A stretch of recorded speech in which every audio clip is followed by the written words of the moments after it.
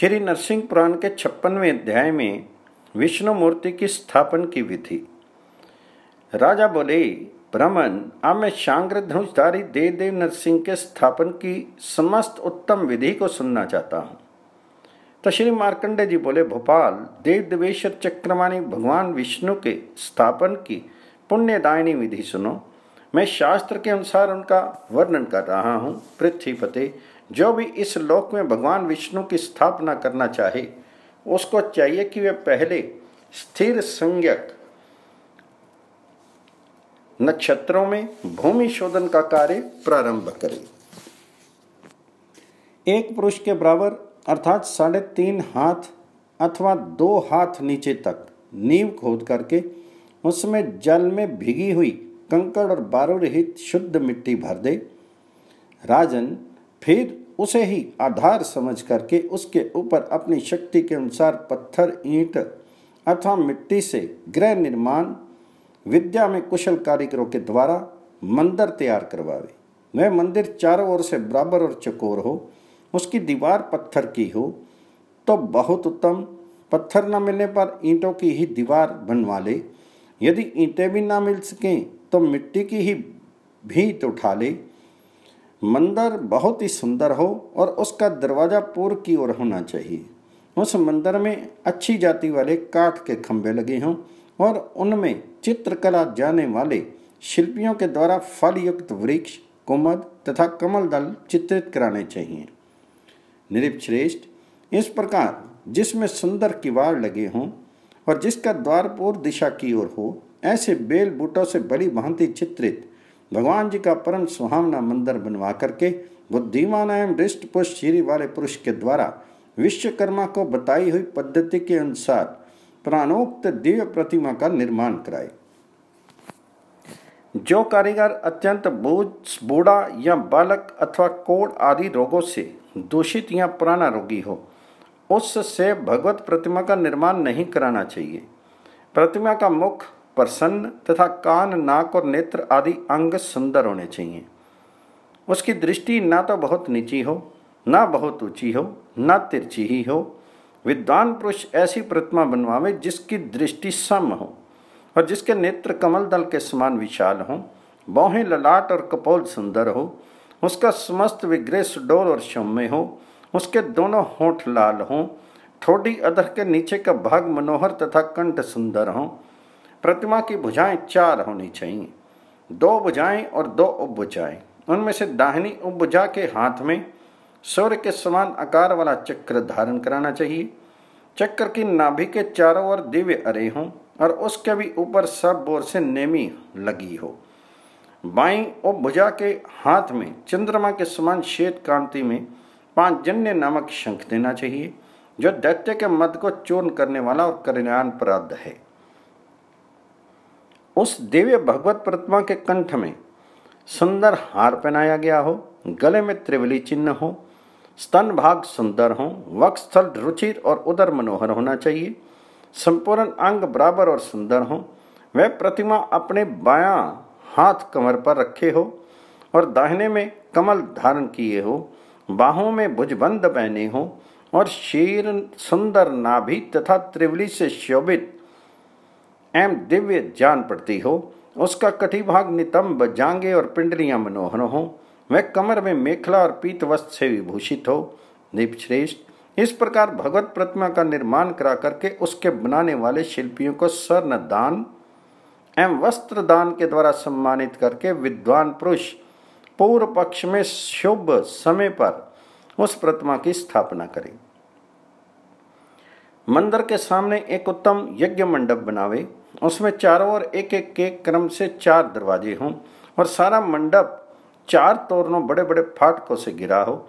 उसमें सब धान्य के अंकुर उगे हों तथा शंख और भैरी आदि बाजे बजते हों। विद्वानों के द्वारा छत्तीस घड़े जल से उस प्रतिमा का अभिषेक कराकर उसके साथ वेदों के पारगामी ब्राह्मणों को साथ में लिए उक्त मंडप में प्रवेश करे और फिर पंचगव्यों से पृथक पृथक स्नान करावे। इसी प्रकार गर्म जल से नहलाकर फिर ठंडे जल से स्नान करावे।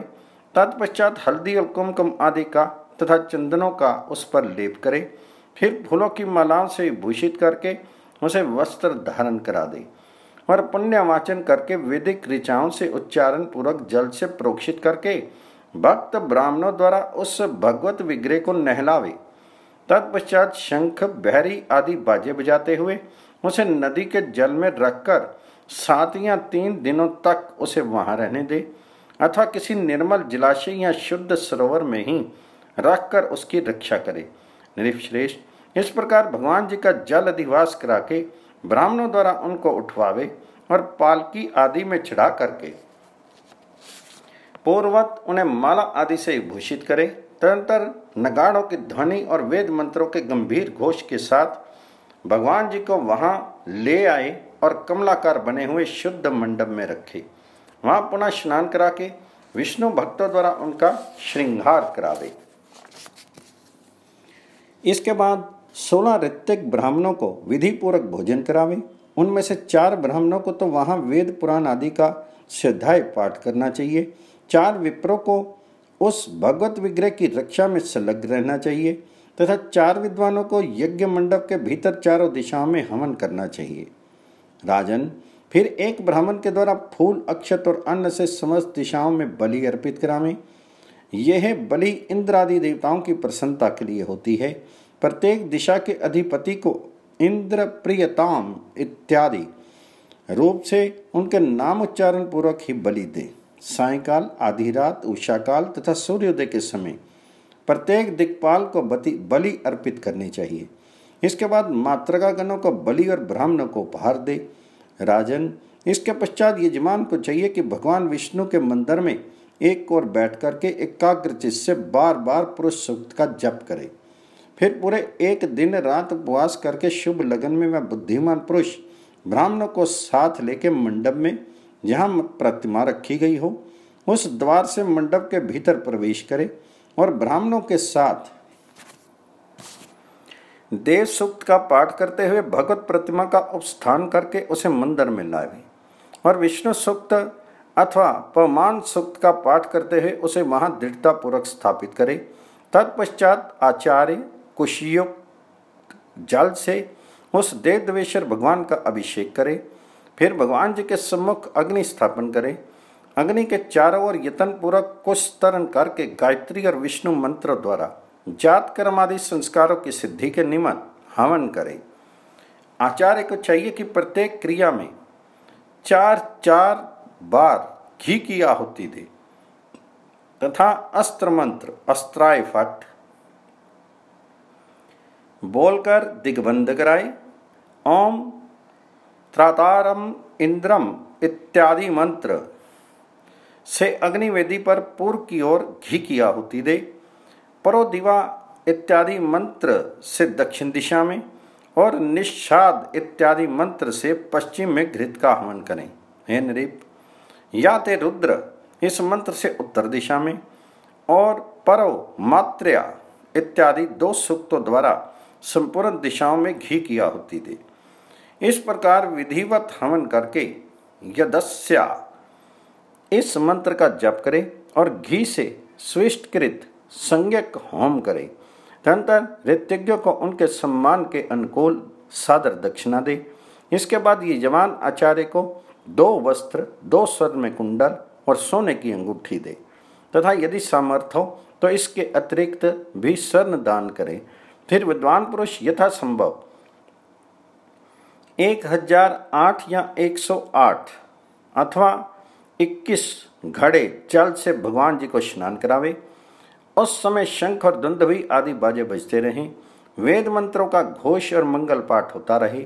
अपनी शक्ति के अनुसार जिन पर जौ आदि के अंकुर निकले हों, ऐसी जौ और ब्रीही चावल से भरे पात्रों द्वारा तथा दीप, छड़ी, पताका, छत्र, चवर, तोरण आदि सामग्रियों के साथ स्नान विधि पूर्ण करा के वहाँ भी ब्राह्मणों को यथाशक्ति दक्षिणा दे।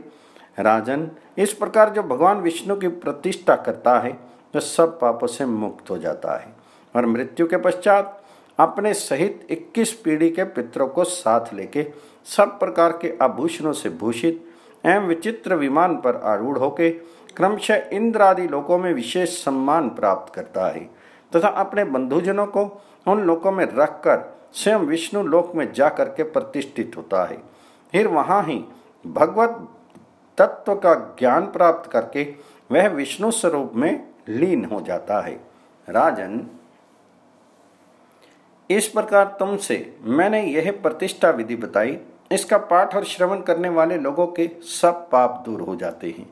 नरनाथ, जब मनुष्य इस पूर्वोक्त विधि से पृथ्वी पर भगवान नरसिंह की स्थापना कर लेता है, तब मृत्यु के बाद वह भगवान विष्णु के उस नित्य धाम को प्राप्त होता है, जहाँ रहकर वह पुनः संसार में नहीं लौटता।